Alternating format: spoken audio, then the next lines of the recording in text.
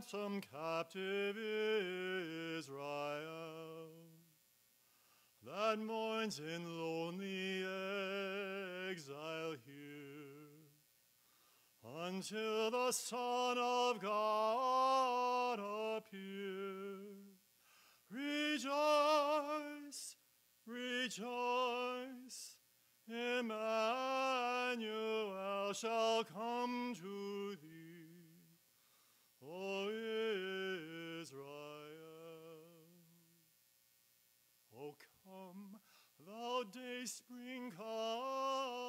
and cheer our spirits by thine advent here. Disperse the gloomy clouds of night, and death's dark shadows put to flight. Rejoice, rejoice, Emmanuel shall come to thee, O Israel.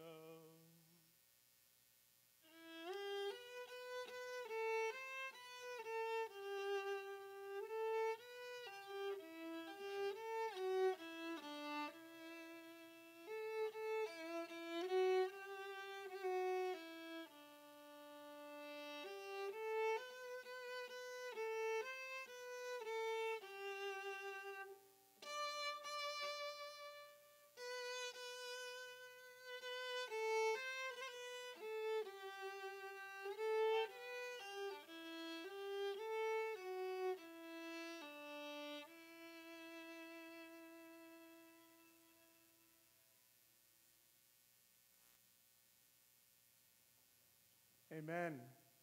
Well, good morning. And welcome to Trinity. We are so excited to have you here this morning on this first Sunday of Advent. Advent is our season of preparation as we look forward to the birth of Jesus Christ. We build each week focusing on a word, and our word this Sunday is hope.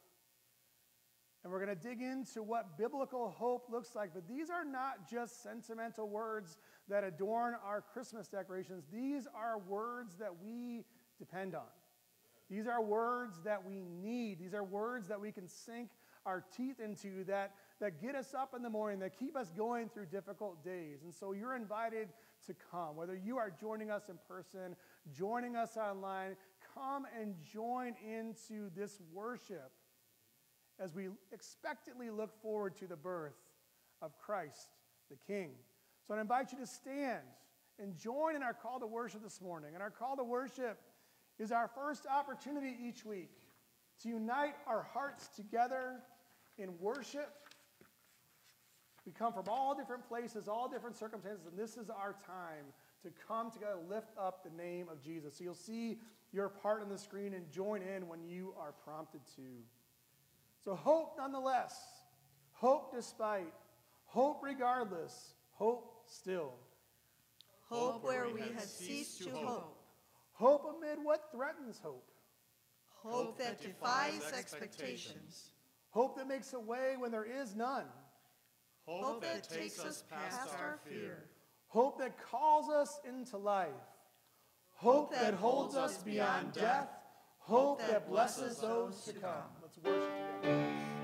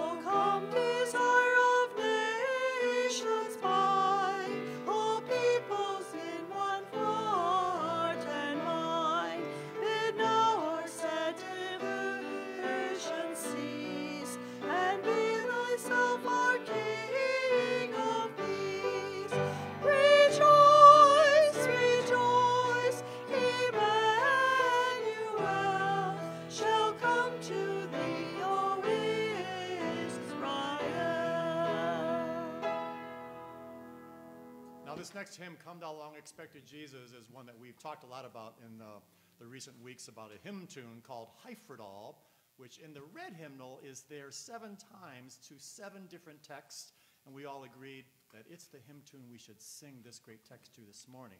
It's one of those quote unquote sacred cows. If you want to read the music, which I always encourage you to do, it's in the green hymnal. We just have a we have Christmas colors in the pew for you this morning. It's in the green hymnal on page 168. You'll see there the words we're going to sing with the tune we're going to sing. We're going to jazz it up a little bit with guitar. Let's worship the Lord together.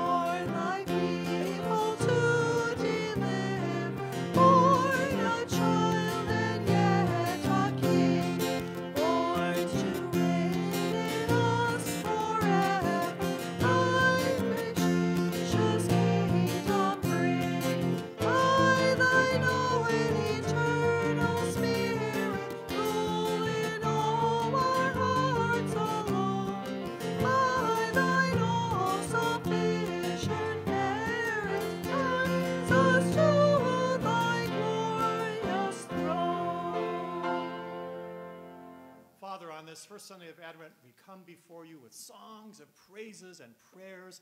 We come with concerns. We come with anticipation what you will do in this Christmas season. We await all those special times that you will show us something new this particular Advent, having celebrated it many, many years before. We're just so grateful that you gave us Jesus, that he lives and reigns within us and in this space. And we pray in his mighty name. Amen. Amen. You may be seated. So during the Advent season, we like to feature lots of different voices that you may not see normally up here on the platform eh, for our Advent readings each week. And so this morning we have Jake Fisher and Liv Soto to lead us in our first Advent reading as we look at the word hope.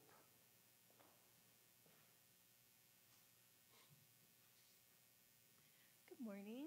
Good morning. So, our reading comes from 1 Corinthians 15, um, verses 12 through 20. But if it is preached that Christ has been raised from the dead, how can some of you say that there is no resurrection of the dead? If there is no resurrection of the dead, then not even Christ has been raised. And if Christ has not been raised, our preaching is useless, and so is your faith. More than that, we have then found to be false witnesses about God.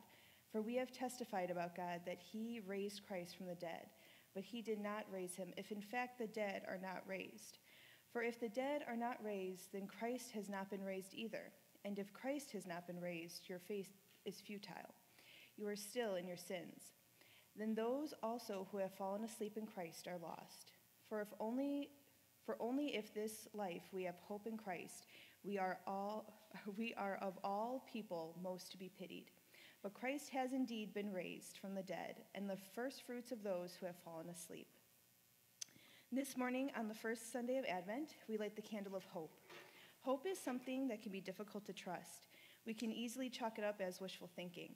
In fact, false hope leaves deep scars, and sometimes we can't recover when we place our hope in something or someone that disappoints us.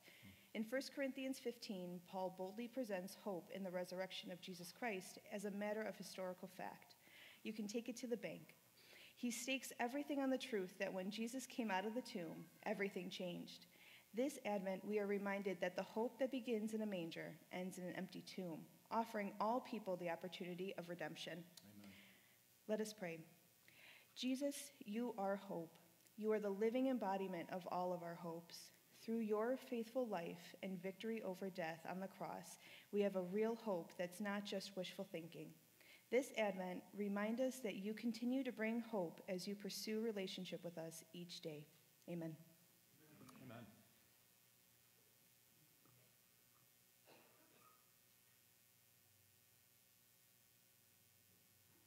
Good morning again. Good morning. All right. It's great to see everyone here today. Um, if you are visiting for the first time, there is a card in the pew we ask you to fill out and drop in the box at the back by the back door. Um, and as everyone else, if you could take the black book and pass it down your rows and let us know that you were here. Um, also, if you have any prayer requests, there's a card in the pews as well if you'd like to fill that out and drop it in the box at the back. Um, today, right after service, we're going to do it right here in the sanctuary. We ask you to stay for the annual budget and election meeting. Um, it will be, it won't be too long. Um, we ask you to stay because we'll be uh, voting on new board members um, as well as the budget. So please plan to stay for just a little bit after church. You don't even have to move. We're going to start right away. Uh, yesterday, the ladies' brunch um, was a huge success. What a nice, nice time. Um, I think most of the ladies sitting here were there, um, and I believe everyone had a nice time. I think there's a picture. Um, we remembered to capture the moment, um, and hopefully that will be maybe a new tradition we start every Christmas time to kind of get our hearts ready for Advent. And then there is a sign up sheet for the men's breakfast on the table. Um, those of you that would like to join the men's breakfast on the 16th, let's see if you guys can beat 38 people. Not a competition. Who says? All right, no, I'm kidding. I'm kidding. It's church time. All right. Um, a reminder of the Wednesday Bible study um, pursued at one o'clock and six thirty. Please, you do not have to come every week. If you can't make it, but you can make it this Wednesday, please come. Um, and then Pastor will talk a little bit more about Unwrap Christmas, but there is a sign up sheet. We do need to know that you're coming, so we have kind of an accurate count um, who's going to be there for dinner and crafts. Also, Almost Home, we're doing a new collection this week or this month. We are collecting ramen cup of soup. Okay, so the ramen cup of soup, not the packages, and then soup cans with pop tabs because, so that they don't need a can opener to open them. So there will be places to put those um, in the front of the church. Are there any other announcements? No? Okay. Now let us open our hearts and be Christ to everyone we meet. Um, let's welcome each other, welcome a stranger, welcome someone that you don't know very well today. As Christ welcome everyone, let's do the same. Please get up and share God's love and peace with each other.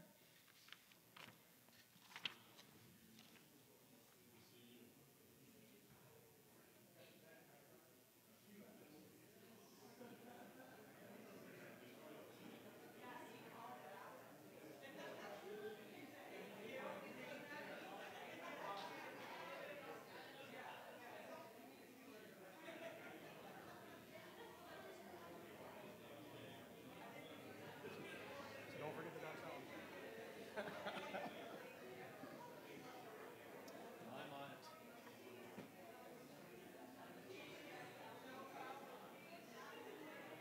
So how does this crowd compare to last year at this time? No, there's more. There's lots of new, lots of faces that were here last oh, Christmas. Lots of faces that were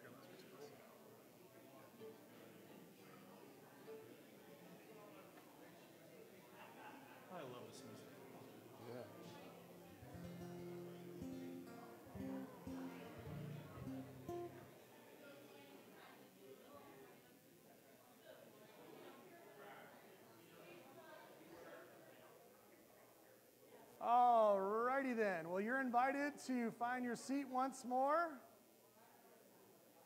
as we continue to worship this morning.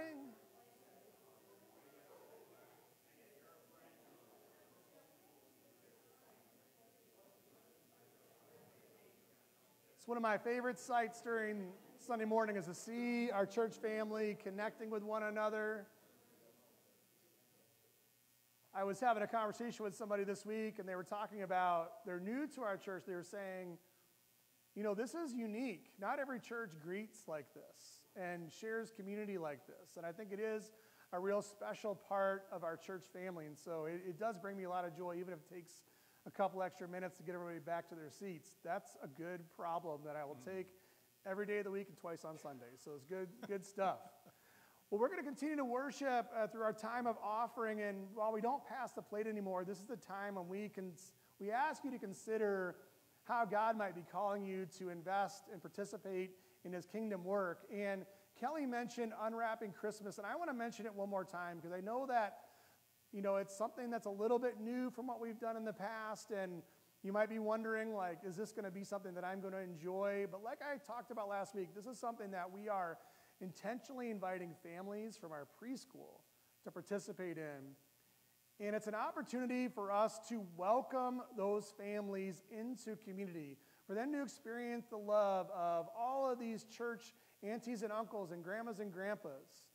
And we know, studies have shown us, the more uh, connections that a child has with a loving adult, someone who cares for them, someone who's cheering for them, someone who looks out for them, the more successful they will be. And we want to embody that here at Trinity as we look to our future, as we look to bring back families into our congregation. We want to lean into what is the best aspect, I think, of Trinity Church, which is the community, the community life. So please do put your name on that list. Again, we're going to order food, I don't know, midweek this week, and we, we want to make sure that we've got enough for everyone. And we also want to make sure we've got enough if there's someone who wants to come at the last minute, that there's a place at the table for them as well. So, something to, something to think about um, to, to make time for next week. I think it's going to be worth your investment of time. And uh, if you do call um, Trinity home and you want to invest financially, we do have an offering box on the way out, or you can donate online at trinityecc.org. But this morning, Ron and I are just going to play sort of an instrumental version of Come, Thou Long Expected Jesus. And it's an opportunity for you to just ponder as we prepare for the message, as we prepare, prepare for what's next in the service. How is God calling you to participate in his kingdom work?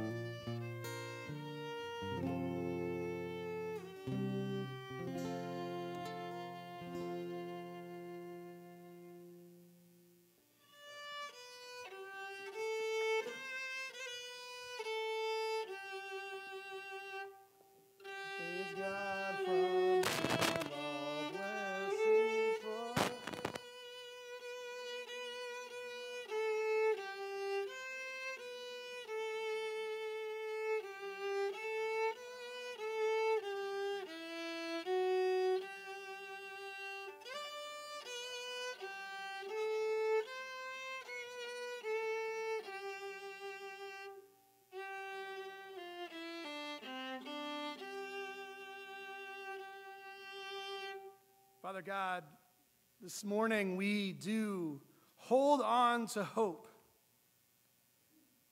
Not wishful thinking, not fleeting thoughts of, I hope this will happen or I hope that will happen, but a conviction, God, that you are at work, that your Holy Spirit is present with us today and is active and is moving and invites us. And God, you are making all things new constantly through Jesus Christ. So, Lord, may our celebrations of Christmas not just be sentimental, may they not just be nostalgic, but may they be declarations of hope. Because our hope is in you, Lord. And we need that hope as we look at our world, as we look at the struggles, as we look at um, things that our world is going through people that are in poverty, people that are facing death, people that are facing unemployment, people that are facing challenging medical situations. God, we need your hope. We're dependent on it. And so, God, may we see you with fresh eyes. May this Advent not just be another ritual, not just another resuscitation of something we've done for years and years, but might we see you anew this time, this year. May you stoke the hope in our hearts. May we hold that candle of hope for others who cannot see it today. And God, if we can, if we are having difficulty experiencing your hope, God, might you bring someone into our lives to hold us up. And God, we know that this work is not for the faint of heart. We know this work of being hope dealers is not easy, especially in so many challenging situations in our world. So we need you, Jesus. And we fix our eyes on you and we pray the prayer, Jesus, that you taught us to pray, which says, Our Father, who art in heaven, hallowed be thy name. Thy kingdom come, thy will be done on earth as it is in heaven. Give us this day our daily bread, and forgive us our sins as we forgive those who sin against us. And lead us not into temptation, but deliver us from evil. For thine is the kingdom, and the power, and the glory forever. Amen. You may be seated. So, our theme that we introduced last week for Advent is pursued. That God pursues a relationship with us, that he, he did pursue us through Jesus, and He continues to pursue us all the time. He's always seeking to deepen that relationship, to deepen that connection. And so each week of Advent, we focus on a different word. And again, we talked about at the beginning of the service that these are not just abstract words that we adorn our Christmas decorations with. But these are words that we need. These are words that carry us through all kinds of situations. So I want to invite you this morning to follow along with me through the scripture that Liv read a little bit earlier in, in 1 Corinthians chapter 15. And if you want to use your phone this morning, um, there is a QR code on the back of your bulletin that will open up the YouVersion Bible app. And that will, that will take you to the outline of the sermon with the points. And so if you want to follow along on your phone, you can do that. Um, if you want to follow along with the scripture, I just encourage you. We're going to walk through, as we typically do, verse by verse and phrase by phrase through the scripture. And so you're going to want to have some version of the Bible, whether it's a paper form or digital, in front of you this morning. And so, this passage that I'm going to read this morning, that we're going to study this morning, you might say, this sounds more like an Easter sermon than a Christmas sermon or an Advent sermon. And that might be so, that might be a fair point. But unless we have that empty tomb, the manger, well, it's just a manger, just a baby. So we're going to start in verse 12 to get into the significance of why the Christ child had to come. And Paul begins in verse 12. He says, But if it is preached that Christ has been raised from the dead, how can some of you say there is no resurrection of the dead? You see, from the very beginning, the understanding, the belief, the truth that Jesus bodily rose from the grave, that was the centerpiece of Christian belief, of Christian thought. That was a non negotiable. It wasn't just that some of the followers of Jesus happened to see some spirits after Jesus was crucified, but no, Jesus physically, bodily came out of the tomb. And you actually see the description in verse 4 of chapter 15 that he was buried, that he was raised on the third day according to the scriptures. And it talks about the rest of the story, how he appeared to more and more people. And the belief was this is the first time this had ever happened. It's the first time that God had moved in such a way to reverse the curse of Genesis, reverse the curse of the Garden of Eden. That this body, it might die and it might go into a tomb or it might go whatever happens to it, but it's someday on the day of resurrection that this body is reborn, is renewed. That we aren't just disembodied spirits flying around somewhere in the clouds, but that's Jesus physically came out of the tomb and he was made new, and it's the first time this had happened. It's different from the Greek understanding. The people of Corinth that Paul was writing to, they came from a Greek background. And in that culture, well, maybe if you are a really exceptional person, when you died, you might go up into the stars. Your soul might do something significant, but there wasn't much hope because the gods were just far, far away. But not Jesus. In Jesus, God comes near to us. God comes close to us. God comes and moves into our neighborhoods. And when he comes out of that tomb victorious on the third day, the power of sin is broken. The power that in, of sin that infected all of creation way back at the beginning of the scriptures in Genesis 3, that, that that's broken. And the power of death is defeated so that when we have a memorial service of someone who has died in Christ, we say, We will see you again. That death is not the end, death is, has been defeated and that God restores us into eternity for those of us who believe in Christ, who trust in Christ. We have a real hope. That's what our hope is based on. Our hope is based on a historical reality. It's not just, well, that's a nice thought. It's a nice thought to think that I might have a chance after death. That's, you know, we don't hope in Christ the same way we say, Well, I hope the Bears can get a win this week. I hope the traffic's not that bad, or I hope there's not a big line at my restaurant after, after church. That's a, well, I, a hope in that, man, wouldn't it be nice, but I'm not counting on it. When Jesus rose from the grave, we can count on it. We can trust our lives on it.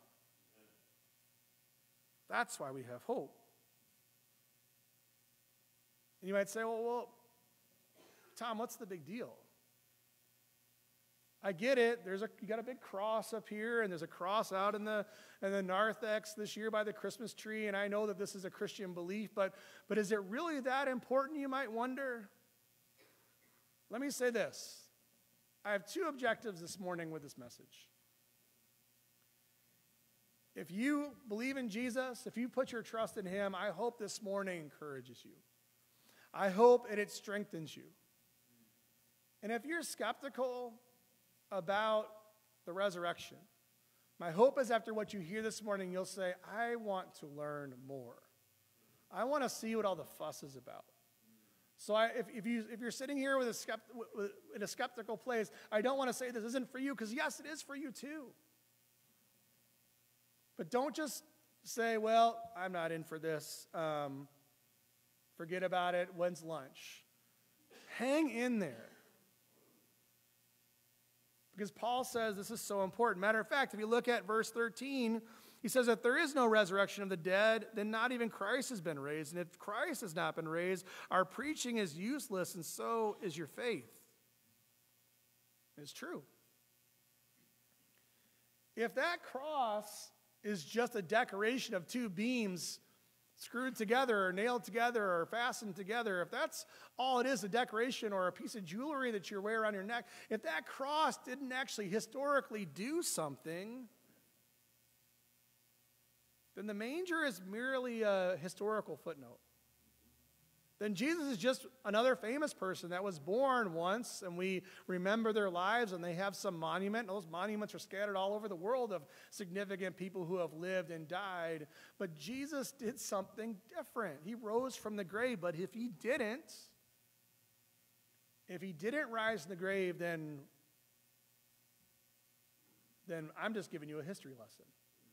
This is just philosophy. More than that, he says in verse 15, we are then found to be false witnesses about God. For we have testified about God that he raised Christ from the dead, but he did not raise him if in fact the dead are not raised. Because if the resurrection isn't real, then I'm encouraging you to have a false hope. You could even say I'm lying to you. The resurrection didn't happen. If Jesus didn't bodily come out of that tomb, then I am actively leading you astray this morning. You have gathered to hear me lead you astray if the resurrection is not real. There's a lot riding on this. And man, people put their hopes on all sorts of stuff, don't they? And I hope in this, I hope in that. And, and our experience is that when we put hope in something, it's more often than not, it's a 50 50 proposition. You know, whether it's a sports team or whether it's your retirement fund or whether it's whatever it is. It's like, well, you know, I hope so. But that's not what the Bible talks about hope. In Hebrews chapter 11, it talks about hope being confidence. It gives you a hall of fame of these faithful people. Confidence in what we hope for. It's not just like, well, it would be nice. It would be nice if there's life after death. It would be nice if Jesus rose from the grave. No. Either it's true or it's not. He continues in verse 16 For if the dead are not raised, then Christ has not been raised either. And if Christ has not been raised, then your faith is futile and you are still in your sins. I think we're probably all aware that we all have broken pieces inside of us. We all have this infection of sin that we struggle with, that we wrestle with. We have things that we are working on. Paul talks about working out your faith in fear and trembling. That, yes, you might have said yes to Jesus at one point and trusted your life to Jesus, but the rest of your life is working it out. It's called sanctification, it's a big theological word sanctification. And we're all in the process. And I, I know some people that say, you know, when I go through the TSA at the airport, I'm testing my sanctification because I, I'm well aware that I'm not quite there yet when I have to deal with those long lines or deal with a traffic jam. But we're well aware, aren't we? That we have struggles, we have challenges, we have obstacles, we have things that we have been wrestling with, we have been working on for our lifetimes. And if the resurrection isn't real, we're hopeless. If the resurrection is not real, then the power of the Holy Spirit also is not real, and you have no hope of overcoming that. Because the only antidote to the infection of sin is Jesus. It's not my strength, it's not effort, it's not works. It's not good deeds. I think sometimes we fool ourselves into. Um, I was, I was um, on a Zoom call with another covenant pastor this week, and he was citing a study that functionally, Christians, or, or theoretically, Christians believe that they are saved by grace. Theoretically, if you were to interview a, uh, you know, a church after service, say, Do you believe that you're saved by God's grace? They'd say, Yeah, I think I believe that. But practically, functionally, we have fooled ourselves into believing that our acceptance by God is dependent on what we do. That if I sin a little bit less than yesterday, if I do a little a few more good works than yesterday, if I volunteer my time just a little bit more, then God likes me more. Can I tell you that God likes you already? You don't do good deeds, good works, volunteer, give your tithe to the church. That's not to get brownie points with God. That's not the reason. We give of ourselves because we say, Thank you, Jesus. I know what you did for me. What can I do for you? I'm not going to sit up here and guilt you and, and, and tell you that, you know, if you can, you know, put a few more dollars in the plate, then you get a, a better spot in heaven, because that's not in the Bible. They tried to do that before the Reformation. They were called indulgences. It wasn't a good idea.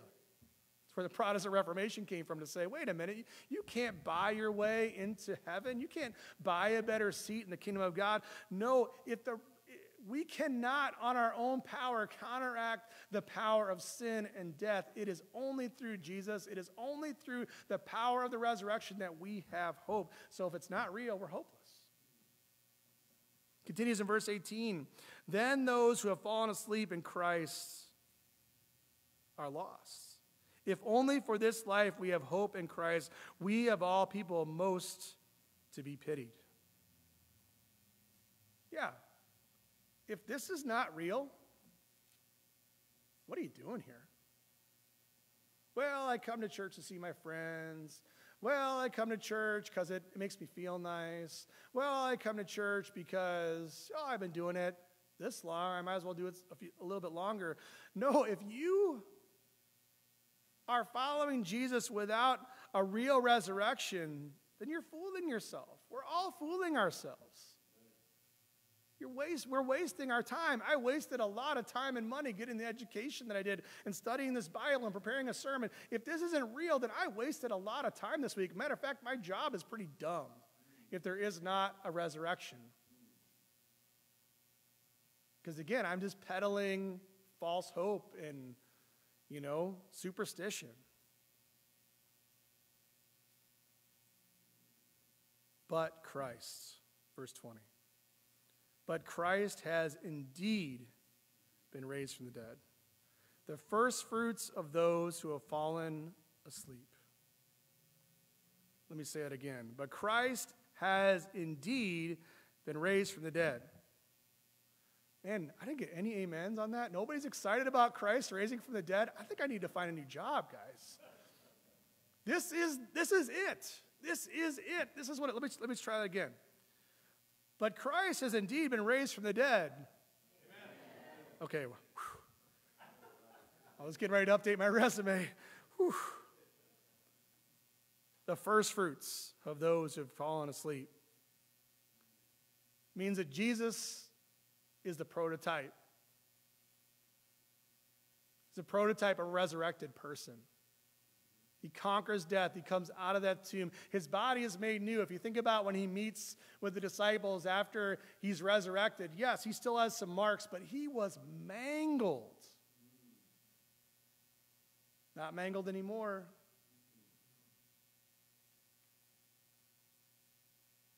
Jesus came to make all things new, to offer you the opportunity of a new life. So, since Jesus actually historically rose from the dead, we have a real hope. And if you wrestle with that, you might say, Well, you haven't given us any proof or any evidences. I'd love to talk to you about that. I'd love to talk to you about why I don't think you have to turn your brain off to believe in the concept of a resurrection. Right off the top of my head, if Jesus wasn't raised, then why didn't the Pharisees go grab his body out of the tomb, throw it on the middle of Main Street in Jerusalem, and say, There he is. Will you guys just cut it out now? Never happened. If Jesus didn't raise from the dead, then why does Peter become a different person? After the resurrection? Why, why do disciples go from these cowardly people running through the woods, afraid for their lives? Why do they go from fearful, meek people to preaching and 3,000 are added in a single day? That's only with Jesus. That's only through the power of the Holy Spirit. And that is available to you too. Peter isn't just a superstar and man, I, am never going to be like him. No, Peter was just a guy who is available. So, as we proceed on our Advent journey, I wonder how does your faith give you hope? How does your faith give you real hope? And you might say, "Well, I'm working on it. I don't. I'm not, it's not. I'm not there yet." That's okay. Trinity is a place for you to come and learn, for to come and investigate, to come and see what this book is all about. That's why we have Bible study every single week. Because this is not easy. And it's meant to be done in communities of people. So I don't ask that question to shame you. I don't ask that question to, to guilt you. I ask you that question to prod you. That Advent and Christmas could be a time to grow deeper in your faith, to go deeper in your conviction that Jesus a, was a real person and is alive today and is still active. So, how does your faith give you hope? And how will this Advent season strengthen your hope in Christ? If you think about what you have filled your calendars up with in December from now until the 25th, are you taking time to grow your hope? Are you participating in activities? Are you, are you doing things that will help you expand your hopeful outlook rooted in Jesus? Because you should. You can spend a lot of time in the next 22 days doing a lot of activity and not have any more hope than when you started. But, but this is a, a golden opportunity for you to spend, even I would say this, even for me, going out and looking at Christmas lights with Amy in my car and listening to Christmas worship music, that is an experience of hope. It grows my heart. You might think it's just lights, Tom, but it's just how you look at it. It's your intention. How do you approach your Christmas activities? Are you approaching them uh, with a, a desire to grow in your faith, or is it just, well, this is pretty, this is nice?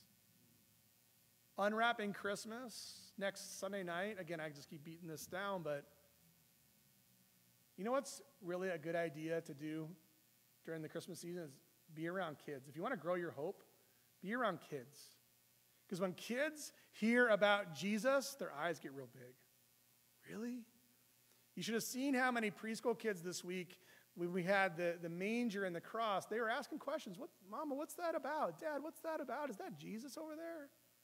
Their eyes get big, they have lots of wonder. I think sometimes we forget that. We get so jaded and cynical because life is kind of beating us down. But put yourself in positions to grow your hope. And then when you have it, or have some of it, how will you share it? Because hope isn't meant to be kept to yourself. Hope isn't meant to just hoard and gather and put in a big closet and you know stockpile and put in a warehouse. Hope is meant to be distributed and shared. I use the, the phrase hope dealer. Can you be a hope dealer during advent? Hey do you want some hope? I got some really good hope over here. You want some hope? That's who we should be.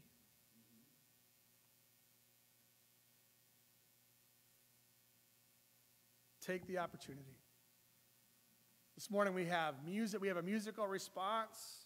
We're going to sing Christmas has its cradle. We're going to share in the Lord's Supper this morning. These are Christmas activities.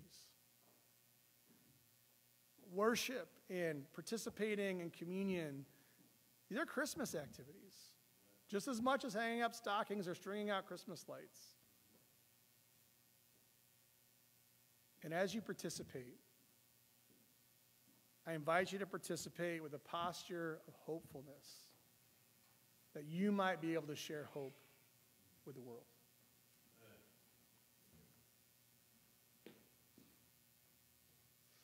I encourage you to use your hymnal this morning and look at page 190 for this great song Christmas has its cradle.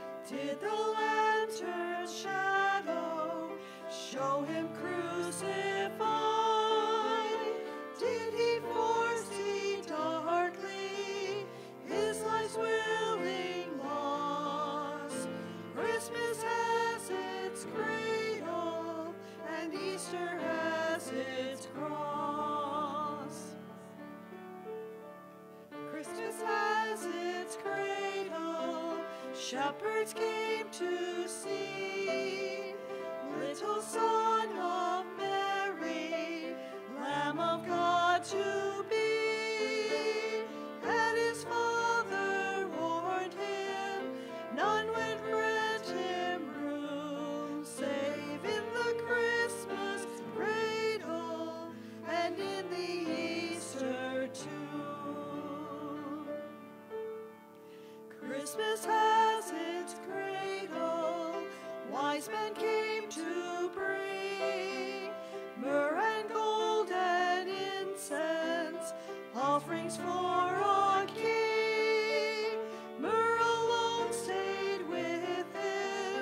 him, death's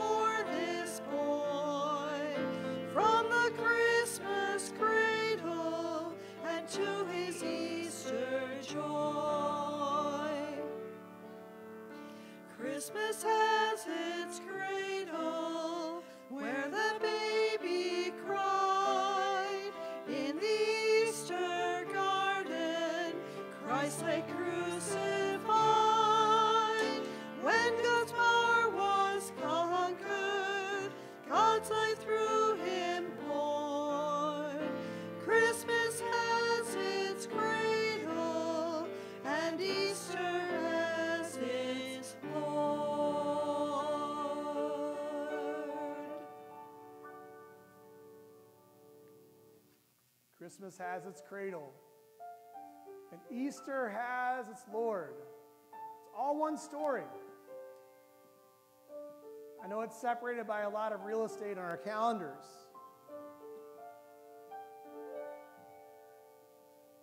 But we can't get to the table without starting at the manger.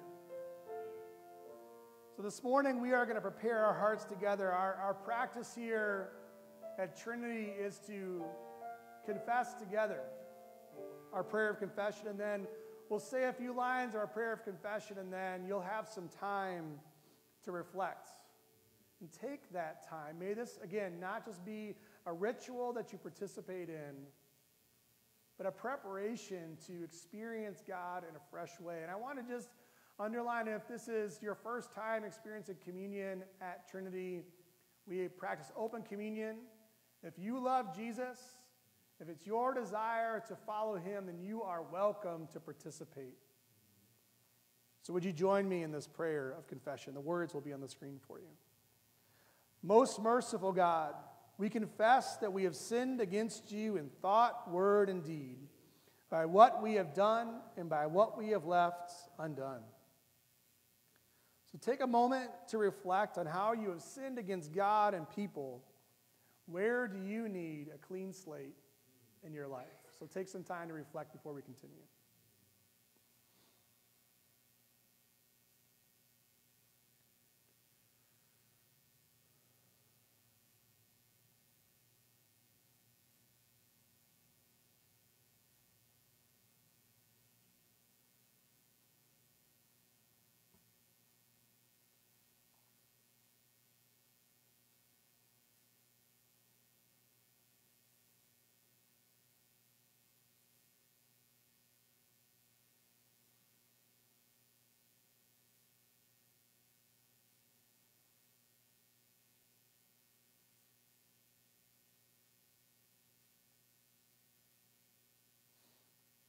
And we continue together. We have not loved you with our whole heart. We have not loved our neighbors as ourselves. Let's take a few more moments to reflect on how you have withheld love from God and from your neighbors. How do you need God to expand your heart?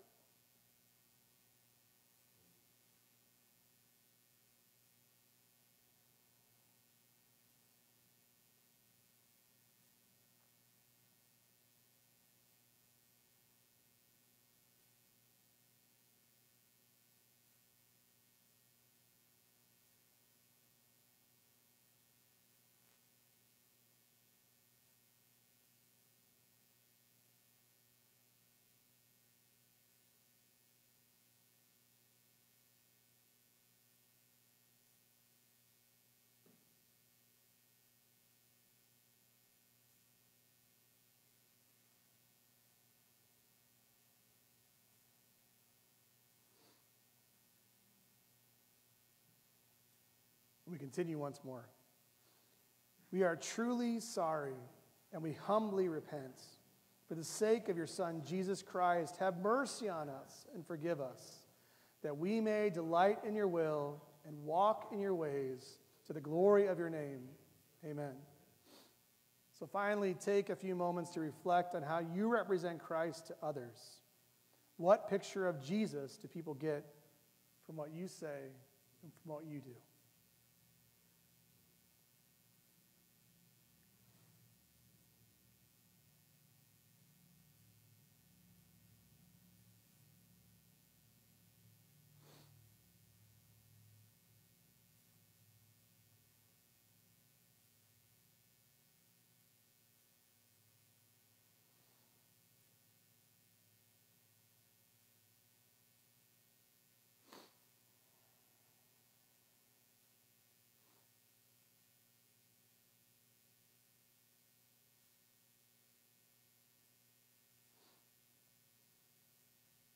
Now, would you stand with me as we proclaim our faith together?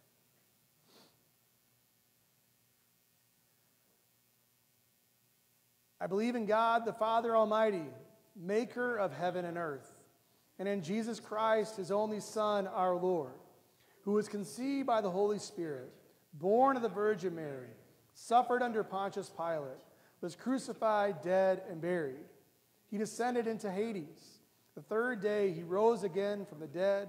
He ascended into heaven and sits on the right hand of God the Father Almighty. From then he shall come to judge the living and the dead. I believe in the Holy Spirit, the holy Christian church, the communion of saints, the forgiveness of sins, the resurrection of the body, and the life everlasting. Amen. You may be seated once more.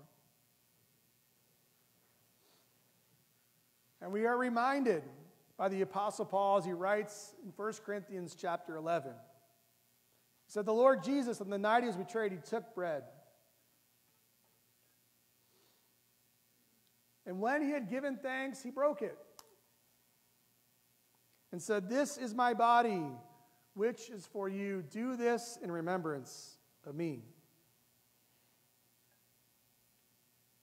In the same way, after supper, he took the cup saying, This cup is the new covenant in my blood. Do this whenever you drink it, remembrance of me. For whenever you eat this bread and drink this cup, you proclaim the Lord's death until he comes. So, Holy Spirit, we pray that you would come and meet us today as we share in the bread, as we share in the cup, might we experience you in a fresh way, like we never have before. Might the truth of the resurrection, the symbols that this represents, God, may that resurrection provide us with an unshakable hope. Would you drill that hope down deep into our hearts that we might believe? That we might live as hope dealers, as people full of your hope, that we might not keep it to ourselves, Lord, but we might share it with all those whom we come into contact with. Meet us at this table today. In Christ's name, amen. amen. So, we are going to, um, the deacons and I are going to serve you with the bread and the cup. I want to invite you to, to take it and then to go back to your seats, hold it, and then we will all partake together. So come, for everything has been made ready.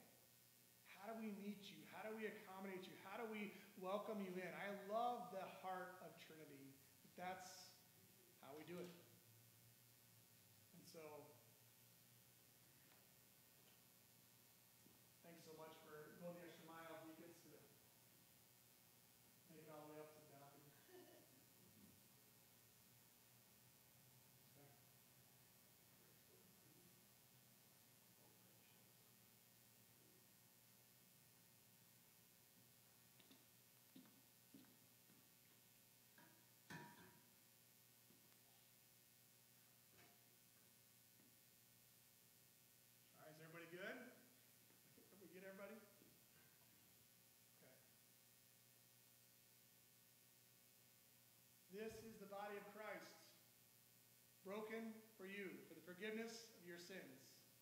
Eat and remember what he's done for you.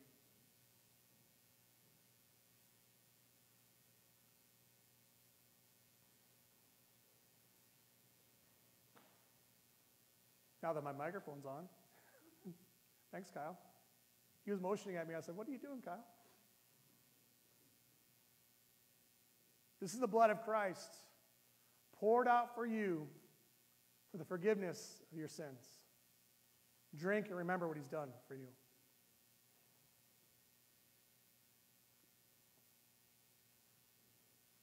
So we decided it might feel like a little bit of a, a gear shift. But hope should be celebrated. Christmas is a time to reflect, but it's also a time to celebrate. So we have kind of a festive song that we want to finish up with. It's got a festive tune. And so have fun. Christmas is also a time to have fun. So if I just stand with us as we continue to worship this morning. Dancing is allowed, Amen. so is clapping. Down low, in the middle, or way up high. the King is coming. Happy Advent.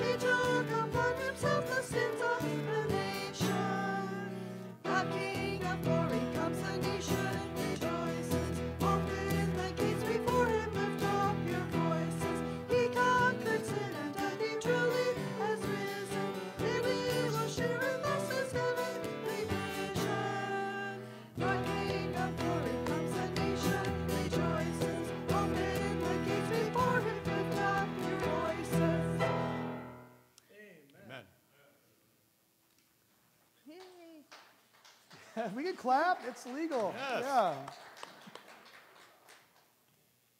So, as we said before, uh, we are going to transition into our congregational meeting in just a moment. We have a lot to celebrate. We have a lot to be grateful for. God is moving. Whether you are a member or whether you are someone who's just checking Trinity out, you're welcome to stay and hang out. You can't vote if you're not a member, but you can listen. But as you go into this week, receive this benediction. May the Spirit of the Lord fill you with His hope. And may you not keep it to yourself, but may you spread it and share it with all that you meet. Go in God's power and peace. Amen.